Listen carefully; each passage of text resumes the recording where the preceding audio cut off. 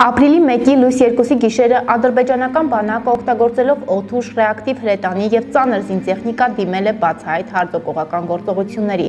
Մեր դիրքապահներին տասնյակ անգամ գերազացող հետևակի ուժերով նա գրոհել է 9-րդ պաշտպանական շրջանի ուղությամբ տեղակայված պաշտպանության բանակի մարտական դիրքերը եւ միաժամանակ հրետանային հարվածներ հասցրել մի շարք խաղաղ բնակավայրերի։ Մեր հերոս դիրքապահներ, ինչպես միշտ իրենց սպաների եւ սերժանտների հրամանատարությամբ սառնասրտորեն դիմավորել են հակառակորդի միջև ատամները զինված հրոսակախմբերին։ Ծավալվել են արյունահեղ մարտեր ամեն մի թիս հողի համար։ Հակառակորդը, որի կազմում ընդգրկված է եղել հատուկ պատրաստություն անցած հարյուրավոր ասկյարներ չէր սպասում, որ 18-20 տարեկան հայ զինվորը իսպաների հրամանատարությամբ կարող է կանգնել միջև վերջ եւ ցույց տալ հերոսության անկրկնելի օրինակներ։ 2016 թվականի ապրիլի 2-ի լույս 3-ի գիշերը ժամը 4:50-ի սահմաններում հակառակորդի գերազանցող ուժերի առաջին հարվածն իրենց վրա են ընդունել համար 112 մարտական դիրքի քաջարի մարտիկները։ Աննկուն հրամանատար դիրքի ավակ սերժանտ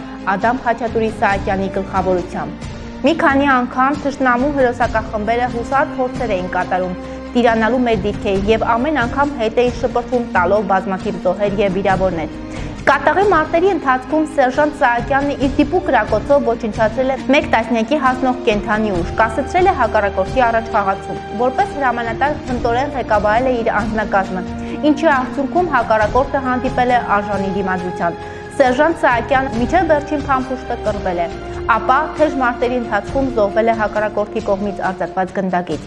Մի քանի ժամ տևած մարտերի ընթացքում հակառակորդը մարտադաշտում թողել է մի քանի տասնյակ դիակներ։ Կատարված սխրանքի եւ արիության համար սերժանտ Ադամ Խաչատուրի Սահակյանը Հայաստանի Հանրապետության եւ Արցախի Հանրապետության նախագահների կողմից հետմահու ապարգևատրվել է Հայաստանի Հանրապետության արիության եւ Արցախի Հանրապետության մարտական ծառայություն մեդալներով։